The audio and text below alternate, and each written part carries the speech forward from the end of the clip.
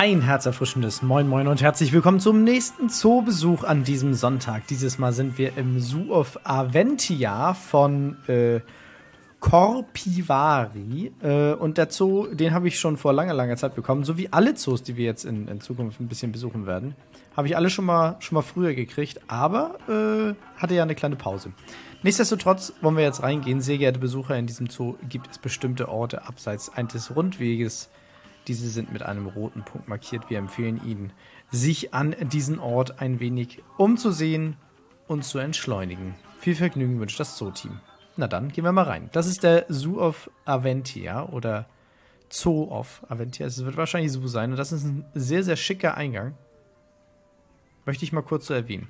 Wir gehen trotzdem mal rein. Hier vorne gibt es die Tickets. Da gehen wir doch gleich mal schauen bei den Tickets. Gleich mal eins kaufen und dann rein. Das hier ist super smart gemacht. Mit den Adaltus-Tafeln gibt es ja von der Seite auch. Nee. Aber es sind einfach nur Boxen. Gut gebaut. Ja, herzlich willkommen. Surf Aventia. Äh, liebe Besucher, hier hausen unsere Luchse Rufus, Tina und Gine. Jean wahrscheinlich. Wir ermöglichen hier einen intimen Einblick in das Leben dieser wunderschönen, aber auch wilden Tiere. Damit Sie und andere Besucher sie weiterhin von nahe sehen können, bitten wir Sie, den Zaun nicht zu berühren und damit sich sowie die Tiere zu gefährden. Vielen Dank für Ihr Verständnis. Die Zooinhaberin Corpivari. Und da gehen wir gleich mal gucken. Wir wollen erstmal schauen hier, da gibt es Lama, Grizzly Ducks und das Aquatic-Bereich oder den Aquatic-Bereich. Achso, das sind unsere Luchse. Der Rundweg geht halt den Weg. Aber ich möchte halt trotzdem hier die Luchse sehen. Das sind aber keine Luchse, das ist Dammwild. Alter, die Wölfe, die hier heulen im Hintergrund. Das ist aber ein schönes. Das ist aber ein schönes Gehege, ne? Hier mit so einem Rundding. Das smart gemacht. Finde ich eigentlich ganz cool. Das ganze Gras und so. Also es gefällt mir richtig gut möchte ich mal kurz, möchte ich mal kurz erwähnen, dass das ein schönes Gehege ist. Ich hoffe, wir sind irgendwann bei den Wölfen. Also hier die, die unechten Steine sehen halt immer noch geil aus, ne? Achso, nicht anfassen. Stimmt, hier sind jetzt die Luchse drin. Ach, guck mal da. Da ist ja ein Babyluchs.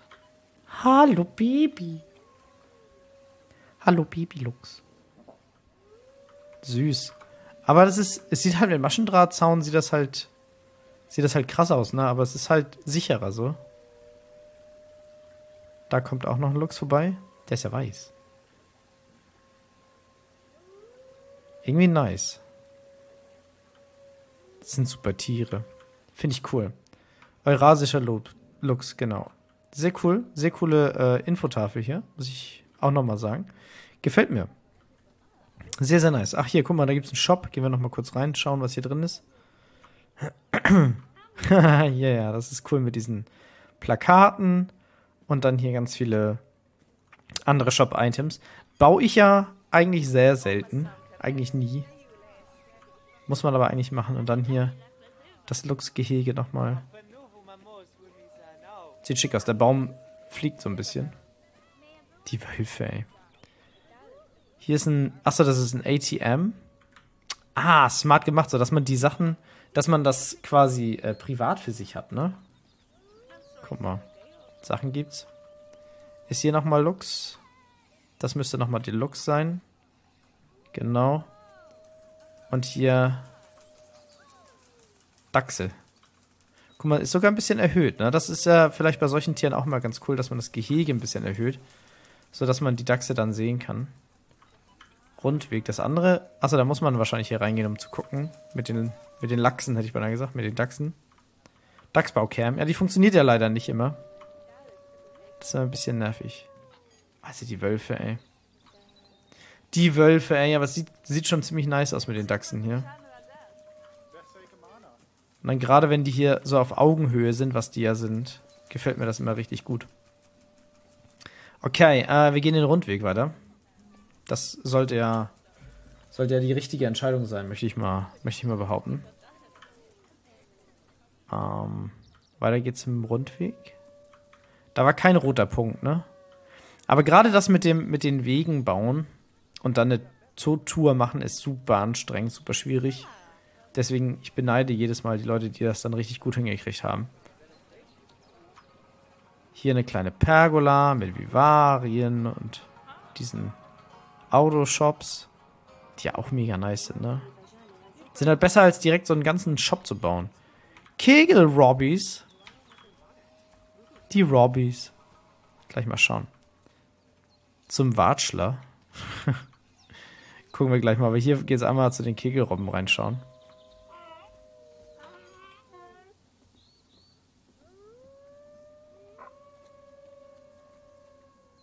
So süß. Die Kegelrobben.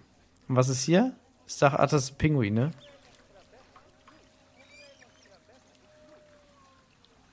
Ja, die sind halt auch nice, ne? Die sind halt auch cool. Okay, wir möchten einmal zum, zum Watschler. Das müsste ein Restaurant sein, wie, wie das da auf dem Schild steht. Restaurant. Möchte trotzdem mal hin und schauen. Müsste ja hier drin sein, genau. Guck mal, dann kann man hier was zu essen holen, dann kann man sich hier hinsetzen. Und dann kann man nämlich hier auch nochmal unter Wasser ein bisschen gucken. Lebt in Afrika, Brillenpinguin. Wie schwer werden die? Ah, 3,1 Kilo, ist ja nicht so schwer.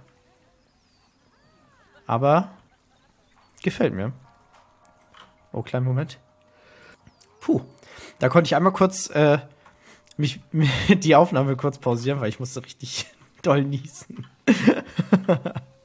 Puh, das hatte ich ja schon lange nicht mehr, dass ich beim Aufnehmen niesen musste. Ah, das sind immer noch die Robben. Und hier die Pinguine. Das ist aber ein cooles Aquatic. Eine coole Aquatic-Ecke. Restaurant Rundweg. Achso, dann haben die hier ihre Höhle. Ich mag ja die afrikanischen Pinguine, ne? Die Brillenpinguine finde ich mega nice. Glaube ich, habe ich auch schon, schon oft gesagt, dass ich die gut finde. Achso, dann kann man hier die Robben unter Wasser anschauen.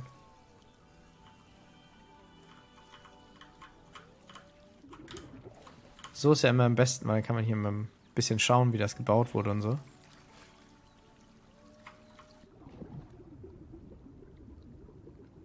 Ist aber auch gut gemacht unter Wasser, ne?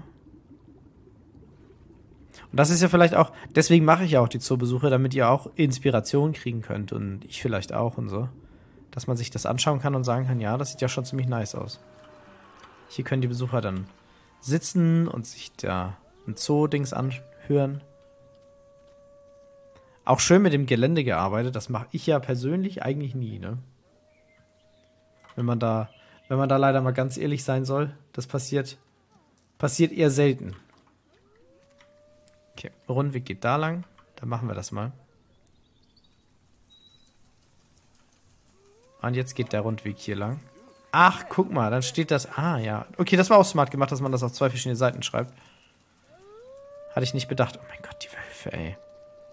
Da ist eine kleine Windmühle im Hintergrund, die sieht halt auch gut aus. Hier schön mit Steinen alles gedingst. Hier ist die Grizzly drin. Da ist ein weißer Grizzly. Ein Albino und da hinten läuft ein, ein browner Grizzly. Und da ist ein Wolf.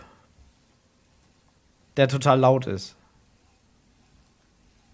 Ich glaube, ich glaube, der ist verbuggt. Warte mal, ich regel das mal kurz. Ich regel das doch nicht, weil da läuft noch ein Wolf, dann kann das ja nicht verbuggt sein. Ich hätte halt gedacht, dass die verbuggt sind. Dass die nicht hier drin sein sollen, aber es sieht halt so aus, als wären die da drin. Hm. Welche Katze ist es? Das ist aber auch gut gemacht mit diesem Ding hier. Und das ist auch nochmal so ein Ding, das, das muss, man, muss man sich einfach angewöhnen, dass man das macht, dass es nicht gerade ist immer, sondern dass es auch so ein bisschen abgerundet ist. Und gerade bei, bei den, ähm, bei den Rigipsplatten kannst du das sehr, sehr gut machen.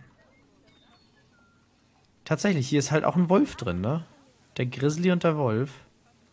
Dachte ich, müsste das regeln. Ach, guck mal, da hinten läuft er. Die sehen aber auch cool aus als Albinos, ne? Hat auch so ein bisschen was. Und dann laufen hier auch Wölfe drin rum. Wölfe und Grizzlies. Dass die nicht fighten. Also kämpfen. Oh. Überraschend. Hm. Da fehlen Informationen. Hier gibt es keine Tiere auf der Seite. Hier so ein schöner, schöner Zaun. Da gibt es so einen Bienen-Dings. Äh, äh, zur alten Mühle. Ach, guck mal, zur alten Mühle ist so ein Ding, da kann man hin und dann zum Verweilen lädt es ein. Ach so. Aha. Guck mal, das ist smart gemacht.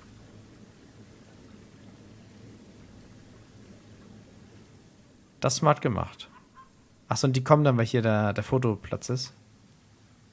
Finde ich sehr cool. Sehr gut gemacht. Dann hier die ganzen Insektenhotels. So, Marktplatz ist den Weg und dann Steinbockburg. Also der Marktplatz müsste ja das hier sein. Der lädt dann auch zum Verweilen ein. Das ist wie so eine kleine, wie so eine kleine Stadt, ne? Das liebe ich ja, wenn die Bäume so eingebaut sind. Hier Vivarien. Hier halt auch noch mehr Vivarien. In die Vivarien gucke ich jetzt auch nicht rein, weil wir wissen ja, welche Tiere da drin sind. Das ist eine Schnecke. Sagt er und guckt in dann Vivarium. Die habe ich schon ewig nicht mehr gesehen, die Schnecken, glaube ich. Ich glaube, daran liegt's. Wo man immer denkt, ja, Schnecken sind ja langweilig. Ist aber ein schönes, äh, ein schönes Dorf hier. Souvenirs gibt's ja auch nochmal Shop. Sehr, sehr nice. Grizzlies alte Mühle, Steinbockburg. Das geht dann hier hoch. Codem. Rundweg. Steinbockburg, genau. Eieieiei, was ist das hier an, an, an Zeit gekostet hat, sowas zu bauen? Hier sollen angeblich Tiere drin sein. Ich höre auch Steinböcke. Die sind wahrscheinlich hier dann in dem Gehege drin, ne? Ja, da hinten. Okay. Aber das ist dann so der Innenbereich für die. Das ist auch good to know. Gehen wir hier nochmal hoch. Oder auch nicht. Ah, doch, jetzt. Aber das hatte ich letztes Mal auch und da habe ich was verpasst. Das geht ja natürlich nicht. Achso. Ja, okay. Ja, ich meine, Herrgott, ne? Aber es ist eine coole Burg. Muss man, muss man auch sagen. Dann gucken wir mal, dass wir runterkommen. Ohne hier durchzubuggen. Und Shops gibt es hier unten auch. Das ist auch nicht schlecht. Was hier drin? Achso, das ist einfach nur, wo man, wo man was essen kann. Okay, nice. Rundweg geht weiter. Dann gehen wir natürlich auch weiter. Schöne hohe Bäume auch. Hier sind dann die Steinböcke, ne? Ja. Da oben sind sie. Habe ich, glaube ich, auch noch nicht so oft gebaut, tatsächlich. Gibt irgendwie ganz viele Tiere, die ich nicht, die noch nicht so häufig gebaut habe, aber gerne häufiger bauen würde. Und die, die Steinböcke zählen dazu.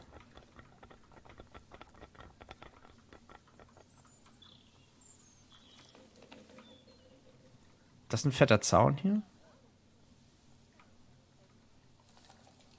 Und dann haben wir hier ein weitläufiges Gehege. Das wird wahrscheinlich Bisonweide, genau. Das werden wahrscheinlich Bisons und Gabelböcke sein, die dann zusammenleben. Macht man ja normalerweise so, warte mal. Müssen wir mal schauen, nicht, dass hier wieder ein, ein roter Punkt war. Marktplatz Grizzlies. Ne, okay. Bisonweide und Pumas. Das ist aber schon ein großer Zoo, ne? Schön weitläufig. Das ist vielleicht auch ganz cool. Und dann haben wir die Dinger hier. Richtig gut gemacht. Die werde ich vielleicht kopieren. Vielleicht. Das sind nur Bisons. Ich dachte, es wären Gabelböcke gewesen, die weißen, aber das sind, sind alles nur Bisons. Ist auch witzig mit den, mit den, mit den Albinos immer. Bisons sind halt auch cooler geworden mit der Zeit, ne? Wenn man jetzt halt mehr nordamerikanische Sachen hat, kannst du Bisons halt auch ziemlich gut bauen. Das darf man nicht vergessen, dass je mehr Tiere du von einer Seite hast, von einem Kontinent, desto häufiger kannst du halt auch welche davon bauen. Das lohnt sich dann auch gleich ein bisschen mehr. Finde ich. Ein Riesenunterstand hier. Okay, was gibt's hier? Bisonstall, Puma. Oder Rundwege und Polarfuchs. Wir gehen einmal zum Bisonstall. Den Puma muss ich dann später sehen. Hoffentlich. Aber ein cooler Stall. Für Bisons. Das ist nice. Ich mag die Bisons ja, ne? Habe ich das eben schon gesagt? Ja, ne? Okay, die Pumas, die besuchen wir jetzt nicht. Wir gehen den Rundweg und hoffen, dass wir da zum Puma kommen, weil hier gibt es Polarfuchs nochmal. Gehen wir ins Eisschloss. Ich weiß nicht, das Eisbauset finde ich halt nicht so nice, ne? Weiß auch nicht warum. Polarfüchsis. Die sind auch ein bisschen erhöht. Und dann leben die hier. Habe ich, glaube ich, auch erst einmal gebaut. Mich so gefreut, dass sie drin sind. Die sind aber auch süß, ne? Die sind aber auch sweet. Kannst du nichts zu sagen. Die kleinen süßen Polarfüchsis. Sehr, sehr süß. Oh, like. Sehr, sehr süß. So, Mitarbeiterbereich, das passt. Achso, dann kommen wir hier raus zum Puma. Asia-Bereich gibt es auch noch. Halleluja. Hier gibt es noch ein Restaurant, nochmal so ein ATM.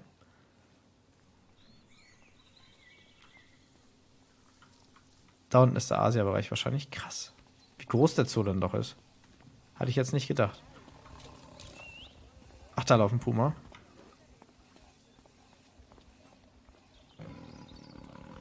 Oder springen auch, wie viele hier auch sind. Krasser Namen, die hier so ihr, ihr Kletterstuff.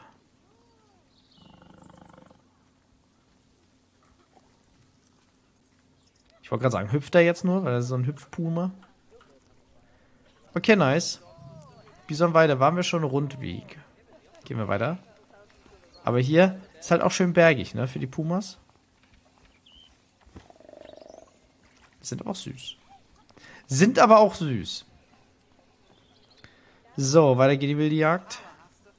In die Richtung, da gibt es wahrscheinlich nur Mitarbeiter, ja. Und dann haben wir hier Rundweg, Asia-Bereich, Lama und Walzgefährt. Asia-Bereich. Okay. Es ist auch gleich ein ganz anderes, ganz andere äh, Pflanzengebiet, was man sehen kann.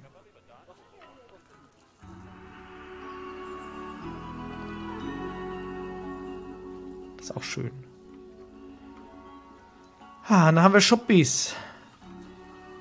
Die kleinen süßen Schuppis. So sweet. Ich liebe die ja, ne? Mittlerweile, früher hingen die mir so ein bisschen aus dem Restaurant. Hier läuft erstmal eiskalten Kranich durch die Gegend. Ein Kranich-Baby auch.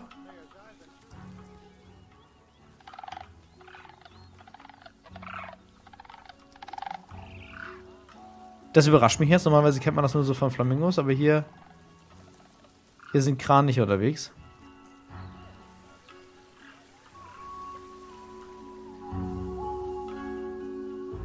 Dann hier das Restaurant. Das asiatische. Super gut.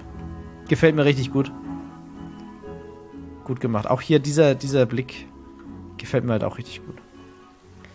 Gefällt mir auch richtig gut. So, weiter geht's. Raus aus dem Restaurant. Und weiter hier lang. Rundweg Pandatal. Ja, irgendwas habe ich dann falsch gemacht. Genau, ich bin nicht da lang gegangen. Zum Rundweg und zum Pandatal.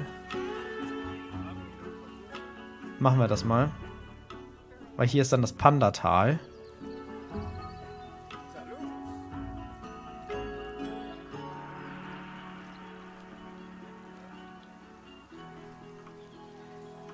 Genji und Ho-Win.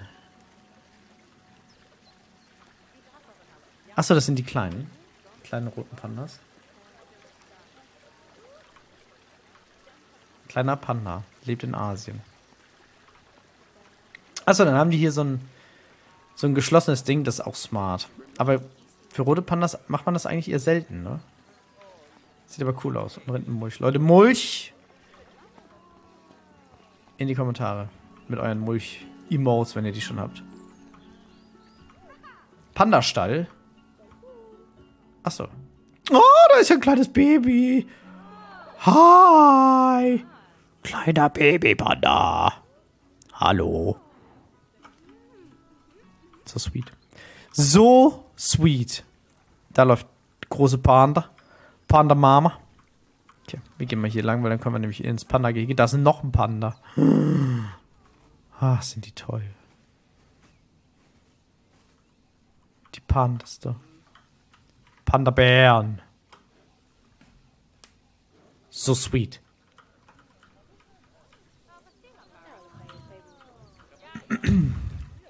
So sweet. Nice, nice, nice. Das ist ein schönes Panda-Gehege. Ein schönes Panda-Tal. Gefällt mir gut. Äh, Rundweg. Noch ein Restaurant. Ich finde es auch cool, wie viele Restaurants es hier gibt. Finde ich es gut. Der See hat einen roten Punkt, da gehen wir natürlich auch nochmal hin. Mitarbeiterbereich. Ach so. Guck mal, da mit Kerzen auf dem, auf dem Wasser. Und dann hier diese Gondeln. Finde ich gut. Ich finde das gut mit diesen roten Bereichen. Die sind auch nicht so, so viel. Also, man hätte, ich hatte jetzt zu Anfang so Angst, okay, ich muss die ganze Zeit irgendwo hingehen. Aber das sind, sind relativ gute, relativ gute Sachen.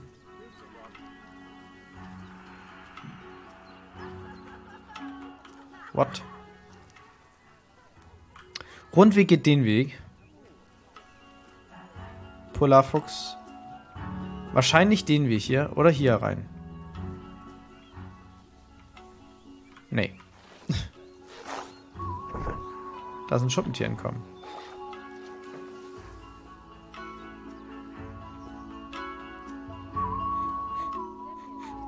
Okay, ich habe mich verlaufen. Hä? Aber der Rundweg geht hier lang. Und dann geht es zum Pandatal. Da bin ich dann hochgekommen. Dann sagt der Rundweg hier. Dann gehe ich hier lang. Dann geht er zum See. Dann sagt er nochmal Rundweg. Und hier sagt er auch nochmal Rundweg. Da muss ich ja hier raus. Führt ja kein anderer Weg dran vorbei, dass ich, als dass ich hier rausgehe. Weil dann müsste hier vorne nämlich nochmal Rundweg kommen. Genau, Rundweg, Ausgang, Lama und Percevals-Gefährt. Hier wieder diese Box. Hier könnte auch gut nochmal irgendwas hin. Das ist sehr weitläufig. Aber manchmal muss man auch Mut dazu haben, dass das ein bisschen weitläufiger sein kann. Finde ich, ist, ist auch angebracht zwischendurch zumindest. Percevals-Gefährt. Guck, du sprichst das mal falsch aus. Ich weiß. Oh, das sieht aber nice aus. So viele Blumen. Ich finde das so toll, dass die im Spiel sind mittlerweile. Die letzten zwei Packs waren richtig, richtig cool. Ah, nee, nicht die letzten zwei. Das Adalungspack und das äh, Grasland-Pack. Ja, das Twilight-Pack war auch okay. Aber gerade die beiden Packs haben mir sehr, sehr gut gefallen. Das sieht halt auch nice aus. Gut gemacht mit den Bäumen hier hinten. Als Zaun. Mit den Baumstämmen. Finde ich gut. Rundweg und zu den Lamas. Dann lass uns doch mal zu den Lamas gehen.